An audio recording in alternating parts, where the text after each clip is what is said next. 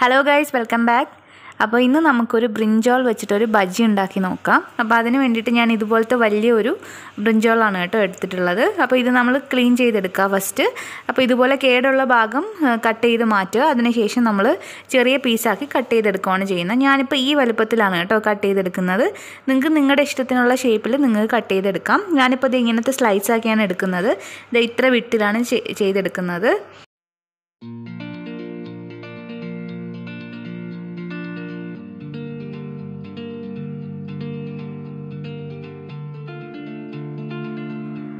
അപ്പോൾ ദേ ഞാൻ സ്ലൈസ് ആക്കി കട്ട് ചെയ്തെടുത്തിട്ടുണ്ട്.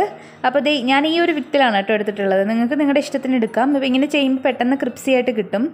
ഇനി നമുക്ക് ഇതിന് വേണ്ടിയിട്ടുള്ള ബാറ്റർ റെഡിയാക്കി എടുക്കാം. അപ്പോൾ അതിന് വേണ്ടിയിട്ട് ഞാനിവിടെ ഒരു കപ്പ് മൈദയാണ് കേട്ടോ ചേർത്ത് കൊടുക്കുന്നത്. ഇനി ഇതിലേക്ക് ഒരു കാൽ കപ്പ് അരിപ്പൊടി കൂടി ഞാൻ ചേർത്ത് കൊടുക്കുന്നുണ്ട്. അപ്പം നല്ല ക്രിപ്സി ആയിട്ടിരിക്കും. മുരിഞ്ഞു വരും. അതിനാണ് ചേർത്ത് കൊടുക്കുന്നത്. ഇനി നമുക്കിതിലേക്ക് ആവശ്യത്തിന് ഉപ്പ് ചേർത്ത് കൊടുക്കുക ഇനി ഇതിലേക്ക് ഞാൻ രണ്ട് ടീസ്പൂൺ മുളക് പൊടിയാണ് ചേർത്ത് കൊടുക്കുന്നത്. കാശ്മീരി മുളക് പൊടിയാണ് കേട്ടോ ചേർക്കുന്നത്. അതുകൂടാതെ ഒരു കാൽ ടീസ്പൂൺ മഞ്ഞൾപ്പൊടി ഒരു കുറച്ച് വളരെ കുറച്ച് കുരുമുളക് പൊടി ചേർത്ത് കൊടുക്കുന്നുണ്ട് ഞാൻ. ഇനി കുറച്ച് വെള്ളം ചേർത്ത് നമ്മളിതൊന്ന് നല്ലപോലെ ഒന്ന് മിക്സ് ചെയ്തെടുക്കണം.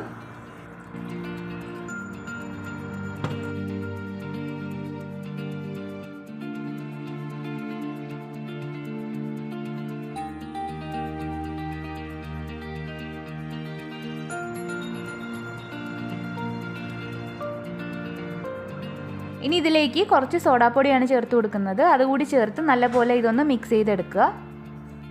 അപ്പോൾ ഇത് മിക്സ് ചെയ്തതിന് ശേഷം നമ്മളൊരു പതിനഞ്ച് മിനിറ്റ് ഇത് റെസ്റ്റ് ചെയ്യാനായിട്ട് വെക്കണം. അതിനുശേഷം നമുക്കിതെടുക്കാം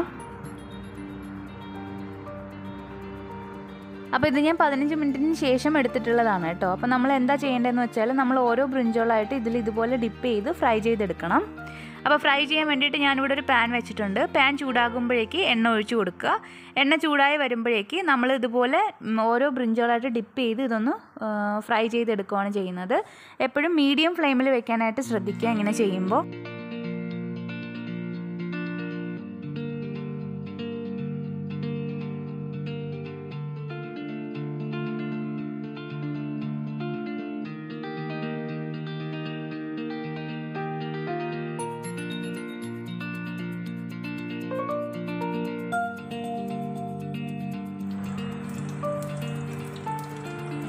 അപ്പോൾ ഒരു സൈഡ് കുക്കാകുമ്പോൾ തിരിച്ചിട്ട് കൊടുക്കുക. രണ്ട് സൈഡും ഒരു ഗോൾഡൻ ബ്രൗൺ കളർ ആകുമ്പോഴത്തേക്ക് നമുക്കിത് കോരിയെടുക്കാം.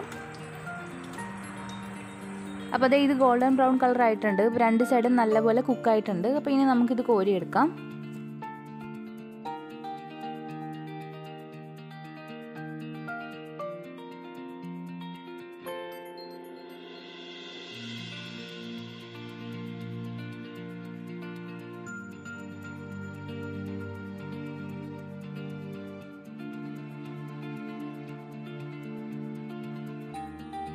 ഇനി നമുക്ക് ബാക്കിയുള്ളതും ഇതുപോലെ ഫ്രൈ ചെയ്തെടുക്കണം. അപ്പോൾ ഇത് എപ്പോഴും നിങ്ങൾ ശ്രദ്ധിക്കേണ്ടത് നമ്മൾ ഫ്രൈ ചെയ്യുന്ന സമയത്ത് മീഡിയം ഫ്ലെയിമിൽ തന്നെ വെക്കാനായിട്ട്. ഇപ്പോൾ ഹൈ ഫ്ലെയിമിലൊക്കെ വെച്ച് കഴിഞ്ഞാൽ ഇത് നല്ല രീതിയിൽ അകത്ത് കുക്കാകത്തില്ല അതുപോലെ ലോ ഫ്ലെയിം ആണെങ്കിൽ ഇത് എണ്ണ ഒരുപാട് ഇത് പിടിച്ചെടുക്കുകയും ചെയ്യും. നമുക്ക് നല്ലപോലെ അത് കുക്കായി കിട്ടത്തുമില്ല. അപ്പോൾ എപ്പോഴും മീഡിയം ഫ്ലെയിമിൽ വെച്ച് ഇത് റെഡിയാക്കി എടുക്കാൻ നോക്കുക കേട്ടോ.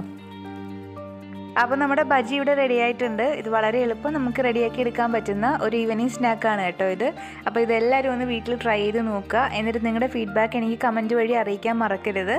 അപ്പോൾ എപ്പോഴും പറയുന്നത് പോലെ ആരെങ്കിലും ഫസ്റ്റ് ടൈമാണ് നമ്മുടെ ചാനൽ കാണുന്നതെങ്കിൽ സബ്സ്ക്രൈബ് ചെയ്യാൻ മറക്കരുത്. കൂടാതെ അടുത്തുള്ള ബെൽ ബട്ടൺ കൂടി ക്ലിക്ക് ചെയ്യുക. ഇന്നത്തെ ഈ വീഡിയോ എല്ലാവർക്കും ഇഷ്ടമായി എന്ന് വിചാരിക്കുന്നു. നമുക്ക് പുതിയൊരു വീഡിയോ ആയിട്ട് ഉടനെ തന്നെ കാണാം. അപ്പോൾ അതുവരെ എല്ലാവരും ഹെൽത്തി ആയിട്ടും ഹാപ്പി ആയിട്ടും ഇരിക്കുക. Thanks for watching